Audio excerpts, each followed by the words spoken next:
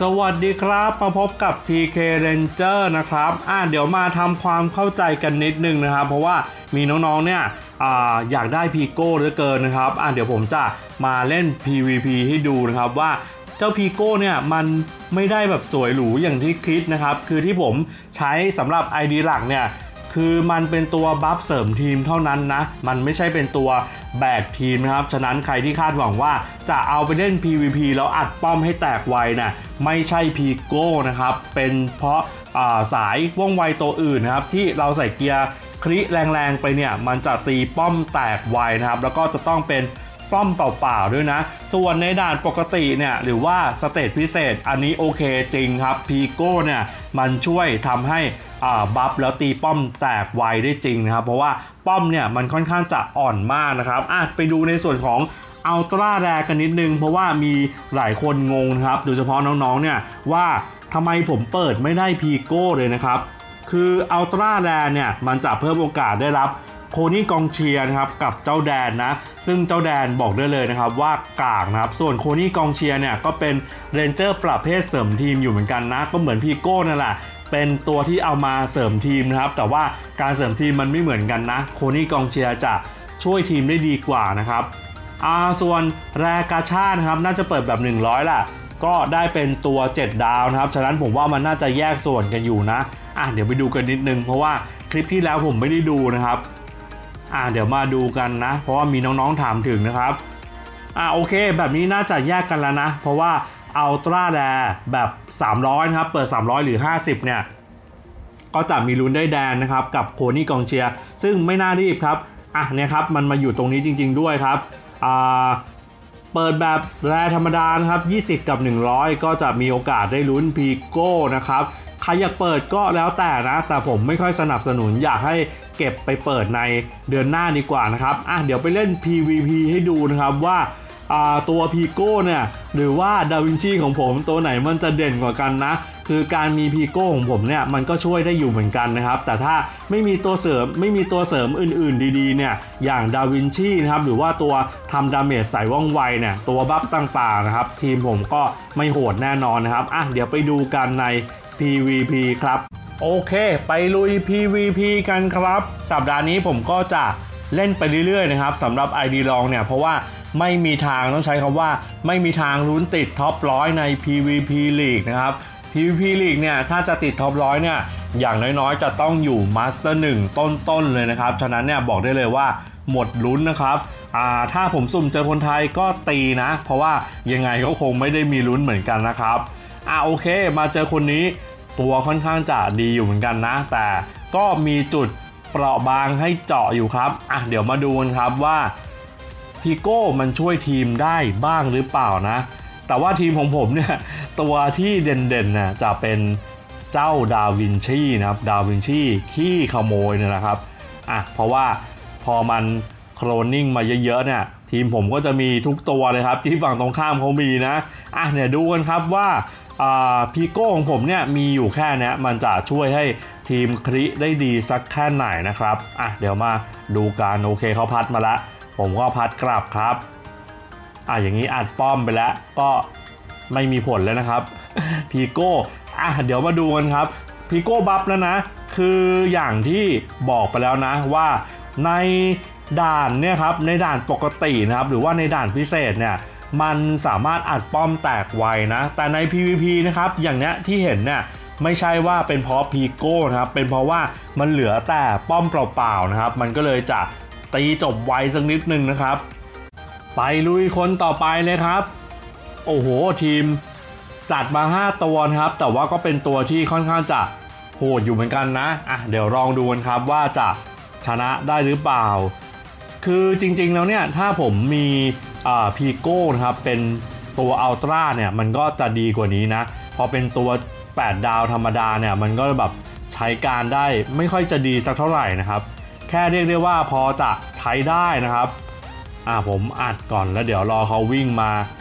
เพราะว่าทีมผมไม่มีตัววิ่งนะครับ คือรอให้เขาวิ่งมาแถวๆหน้าป้อมเราเนี่ย เราก็จะรอสวนกลับนะครับ แล้วก็รอดูดครับ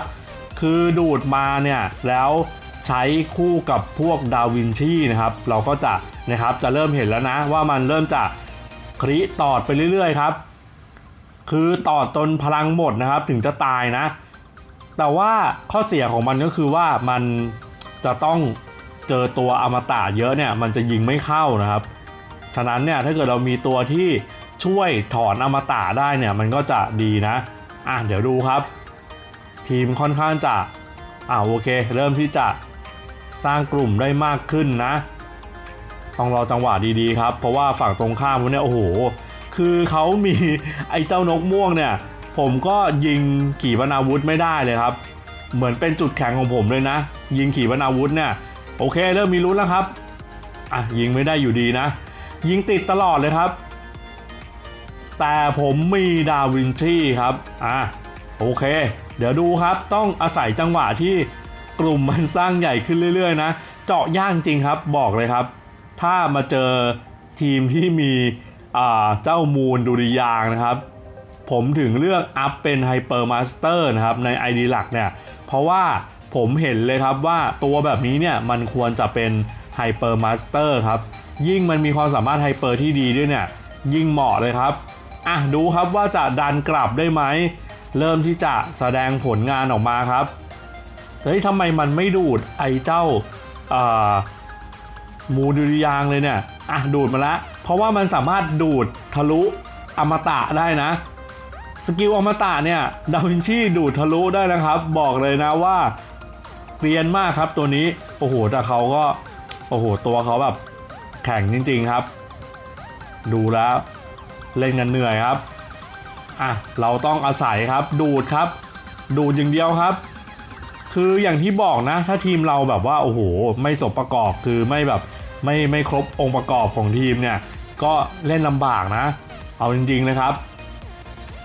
โดยเฉพาะ ID รองของผมเนี่ย ความหวังอยู่ที่ดาวินชี 2 ตัวเลยครับ อ่าโอเค ค่อยๆจักขยับเข้าไปเรื่อยๆนะครับ สังเกตได้ว่าพอเจอทีมที่เขามีอ่าบัฟอมตะเนี่ย เราก็จะไม่ค่อยเห็นแล้วว่ามันจะคริเข้าไม่เยอะครับ แต่ดูครับก็มีนะ ก็โดนอยู่ครับเนี่ยครับ อะโดนอยู่นะ โอ้โหเหนื่อยเลยครับ กว่าชนะแต่ละคนเนี่ย สุดยอดครับ แต่ดูลวสบายครับ เนี่ยครับเนี่ยครับดาวินชีกับพีโก้นะครับ คือเราดูดทุกตัวเลยเนี่ย มาเป็นพวกเลยครับอะเรียบร้อยครับโอ้โหเหนื่อยจริงๆนะ เล่นไอดีลองเนี่ยสุดๆครับ กว่าจะชนะแต่ละทีมเนี่ยยากมากเลยนะ ต้องมานั่งดูนะครับว่าทีมไหนที่แบบว่าพอจะสู้ได้บ้างนะครับ ไปลุยกันต่อเลยครับ โอ้โห ดาวินชี 2 ตัว แบบนี้ไม่ไหวนะ ขอเปลี่ยนดีกว่าครับ โอ้โห มาถึงม่วงทั้งทีมเลยนะ อะโอเค ทีมนี้น่าจะสู้ได้นะครับ แต่ว่าเป็นแชมเปี้ยนโอเคครับ ไปตีแชมเปี้ยนล้วกัน เผื่อเขาจะมาแพ้นะครับ แล้วก็แจกคะแนนคืนผมนะ อะเดี๋ยวไปลุยกันครับ คงจะต้องโอ้โหมันออกมาเยอะขนาดนี้เนี่ย จะพูดว่าเล่นยื้อนี่คือลำบากนะครับ เนี่ยครับต้องอาศัยดาวินชีนะครับที่มันจะเนี่ยครับ เนี่ยครับ คือผมบอกเลยครับว่าในลีกล่างๆเนี่ยมันฟาดติดง่ายมากเลยนะ เพราะว่าฝั่งตรงข้ามเขาเนี่ย Ranger เนี่ยมักจะมีการหลบ skill น้อยนะครับคือถ้าไปอยู่ลีกบนๆเนี่ยเริ่มที่จะฟาดไม่ติดละแต่ว่าอยู่ข้างล่างครับสบายครับอะอย่างนี้น่าจะกินขนมกรุบเลยครับไม่ต้องทำอะไรมากอะเดี๋ยวมาดูการคลีเลยครับ ถ้ามาเจอทีมแบบเนี้ยคลีเข้าง่ายเลยครับนะครับ บางทีเหมือนมันมีบั๊กอยู่เหมือนกันนะ คือมันจะขึ้นว่าพลาดนะครับ แต่ว่าตีเข้าอยู่นะ โอ้ฝั่งเขาก็มีดาวินชีอยู่เหมือนกันนะครับ แต่ว่าไม่น่าจะสู้ฝั่งผมได้นะ ฝั่งผมมี 2 ตัวนะครับ ดูครับ ทีมมาเป็นหมู่บ้านเลยครับ เรียกมาทั้งหมู่บ้านเลยครับ ทีนี้ดูครับคลิติดตลอดครับ แต่อย่าไปหวังผลในการอัดป้อมจนแตกสนิทนะครับ ไม่ค่อยจะ มีผลมากมายสักเท่าไหร่นะอะต้องรีบวิ่งออกมาก่อน เดี๋ยวมันจะอ่าเดี๋ยวมันจะยิงขีปนาวุธเข้าป้อมนะครับอะมาอยู่ตรงนี้ครับ แล้วก็ตีต่อครับ อย่างนี้น่าจะสบายแล้วเนี่ยครับมันขึ้นพลาดก็จริงนะครับ แต่ว่ามันตีเข้านะ คือบางทีเหมือนอาจจะเป็นบั๊กในเรื่องของการแสดงผลอยู่เหมือนกันนะเนี่ยอันจริง ๆ มันจะต้องขึ้นแบบแดงๆเลยครับเนี่ยครับอ่าเรียบร้อยครับ ดูครับถึงมีพีโก้นะครับ แต่ป้อมเนี่ยจะลดช้านะครับ ยกเว้นว่าเหลือป้อมเปล่านะอะอย่างเงี้ยคือเหลือป้อมเปล่ามันก็จะทีเดียวแตกเลยครับ แต่ถ้าเกิดมี Ranger ขวางอยู่หน้าป้อมเนี่ยอ่ารับรองได้ว่ามันตีไม่เข้านะครับ คือถ้าไม่เจอป้อมเหลืองเนี่ย มันก็ตีเข้ายากนะ เจอป้อมดำขึ้นไปนะ่ะลำบากเลยครับอะไปลุยกันต่อครับ Master 2โอ้โห Master 2 48อะลองไป ดูกันก่อนครับ เราอาศัยการขโมยอย่างเดียวเลยนะ คลิปนี้เนี่ยผมมาทำพีโก้โดยเฉพาะนะ แต่ว่าตัวเด่นน่ะมันเป็นดาวินชีอยู่เหมือนเดิมนะครับเออคืออย่างที่บอกนะครับว่าเนี่ยลีกล่างๆเนี่ยมันใช้งานได้ค่อนข้างจะสบายอยู่นะ แต่ถ้าเกิดเจอทีมแบบนี้เนี่ยรอดูครับอาจจะไม่รอดนะครับ เพราะว่าตัวเขาค่อนข้างจะดีอยู่ อะต้องอาศัยจังหวะแบบนี้ครับเนี่ยจังหวะที่ไม่มี Ranger ขวางป้อมนะครับอะดูครับเพื่อที่จะยิงแล้ว โอ้โหมันพัดกลับเนี่ยแย่แล้วครับอะรีบวิ่งออกมาก่อนรีบวิ่งออกมาก่อนโอ้แบบนี้เรียกว่าผิดจังหวะครับ คือถ้าเกิดผมมีไอ้เจ้าโคนี่รักเป็ดเนี่ยโอ้สบายเลยครับ ผมน่าจะดันออกได้เลยครับ โอ้โหมันกดน้ำแข็งมาตอนที่ ผมกดเอามาตาไม่ทันอะอย่างนี้ไม่รอดแล้ว น่าจะเดี้ยงเลยครับ อะโอเคแพ้ไปครับ คือถึงแม้ว่าเขาจะ U48 นะ แต่ว่าตัวเขาก็แกร่งอยู่เหมือนกันนะอะแต่ไม่เป็นไรครับ เสียคะแนนไปนิดเดียว โอเค ไปลุยกันต่อครับอะเจอคนใจขอตีหน่อยแล้วกัน ทีมดูแล้วน่าจะตีได้นะครับ ถ้าแพ้ก็ถือว่าแจกแต้มไปนะ คือซีคงไม่ซีเรียสกันนะสัปดาห์นี้ สำหรับคนที่อยู่ต่ำกว่า Master หนึ่งนะครับ เพราะยังไงก็ไม่ติดอยู่แล้วผมบอกเลย อย่าอย่าไปคาดหวังอะไรเยอะนะครับ คือขนาดข้างบนเนี่ย top 1 top 3เนี่ยโอ้โห มีดราม่ากันเยอะนะครับ แต่ผมขี้เกียจเข้าไปยุ่งครับ ก็เลยไม่ได้ทำคลิปในส่วนของ PVP League season 2แล้วนะ เพราะว่าเดี๋ยวไปรอตอนจบเลยครับ ส่วน ID หลักของผมเนี่ยบอกได้เลยครับว่าสู้ตายนะ เอาเฮ้ย ไม่ไหวแล้วผมต้องกระชากก่อนครับ กระชากยันก่อนครับ โอเค ต้องเล่นแบบนี้นะครับ ไม่งั้นเนี่ยก็ไม่ไหวเหมือนกันนะ ตัวเขาออกมาเยอะมากเลยครับ มีดาวินชีด้วยนะ อะมาตั้งหลักที่หน้าป้อมผมบ้าง โอ้โห จะดันออกไหมเนี่ยโอ้โห สุดๆเลยครับ ดูครับเขามีดาวินชีนะ ฟาดมาทีเดียวไปหมดเลยครับ ยกแผง อะ ดาบนั้นคืนสนองครับ โดนเวรกรรมย้อนกลับตันตาเห็น อะตายเลยครับ เรียบร้อยครับ อะชนะไป 3 แพ้ไป 2 ครับ ก็ไม่ซีเรียสนะ เล่นไปเรื่อยๆครับสำหรับไอดีรองครับ โอเค วันนี้มาให้ดูกันนะ จริง ๆทำคลิปพีโก้ครับ แต่ว่าผลมันออกมาเนี่ย มันเน้นเป็น เจ้าดาวินชีไปซะงั้นนะครับ แต่ก็อย่างที่เห็นนะครับว่าถ้ามีพีโก้อย่างเดียวเนี่ยทีมมันก็ทำอะไรไม่ได้นะผมถึงบอกว่าจริงๆ ไม่ต้องไปควานหามันหรอก มันเลยจุดที่มันเป็น meta มาไกลแล้ว มันก็จะช่วยทีมตีได้แค่ประมาณหนึ่งเท่านั้นนะครับ ทีมต้องพร้อมอยู่พอสมควรนะ ซึ่งถ้าเกิดมีดาวินชีมาเนี่ย แล้วก็มีพีโก้ด้วยนะอันนี้ก็โอเคอยู่ เราจะดึงมาหลาย ๆ ตัวเลยนะครับ แล้วก็ เจาะเขาเนี่ยในการสวนกลับได้สบายนะครับ ฉะนั้นเนี่ยพีโก้ถ้าไม่มีตัวอื่นนะครับ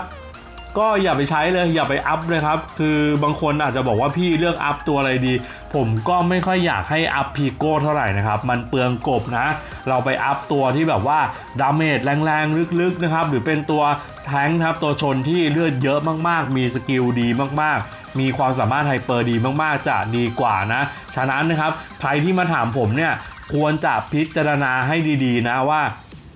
ควรจะปั้นตัวไหนดีนะครับ บางตัวเนี่ยเราปั้นขึ้นมามันอาจจะแบกทีมไม่ได้นะครับ แล้วก็อาจจะใช้ได้ไม่นานนะครับ ใช้งานได้ไม่นานเนี่ย เราก็เสียกบไปฟรีๆนะสำหรับคนที่ยังหากบยากๆอยู่นะครับ ฉะนั้นเนี่ยรอไปเปิดหาตัวเดือนหน้าดีกว่านะครับเผื่อจะได้ตัวโหดๆมาเนี่ย ทีมเราอาจจะแกร่งขึ้นมาทันตาเห็นเลยก็ได้นะ แต่ว่าก็ต้องมีดวงอยู่เหมือนกันนะครับในการเปิดนะครับ คือถ้าเกิดเปิดไม่ได้เนี่ยมันก็เปิดไม่ได้นะ แต่ผมก็ยังแนะนำเหมือนเดิมครับว่าอดทนครับ สะสมรูบี้ไปครับ ถ้าเปิดไม่ได้เนี่ย อย่างน้อยๆ เราสะสมกบแดงเอาไว้นะครับ วันหนึ่งเนี่ยเปิดได้ตัวโหดขึ้นมานะครับ รับรองได้เลยว่าเราจะปั้นแล้วทีมเราเนี่ยแข็งแกร่งขึ้นมาทันทีเลยครับ ทั้งเกมเล่นเองและเกมตั้งรับนะครับ โอเคสำหรับวันนี้ก็ลาไปก่อนครับ สวัสดีครับ